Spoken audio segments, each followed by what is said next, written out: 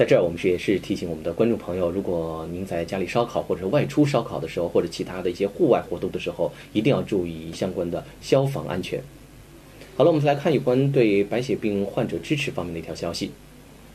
目前在奥克兰，白血病患者将有一个新的地方可以寻求相关的支持。这处地址在新西兰白血病和血液中心 Epson 办公室。新的支持服务中心设有一个办公室、放松室、会议室和一个厨房。奥克兰的支持服务团队拥有三个普通疾病具体支持的团体，以及晚上传授人们关于他们疾病知识、治疗和协助处理疾病策略的课程。